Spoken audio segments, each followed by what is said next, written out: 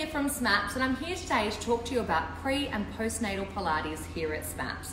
If you didn't know already, we are a pregnancy, pram and breastfeeding friendly studio. We love little ones and even in school holiday we like bigger ones. So feel free to come along, bring your children and your babies and never miss out on that special me time uh, just because you've got the kids and babies in tow.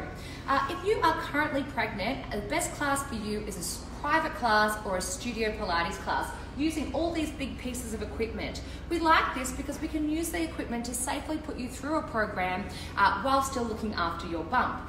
Once you've had your baby, of course, you can come into our Mums and Bubs Mat Pilates class, the perfect way to make friends and the perfect way to rehab after birth.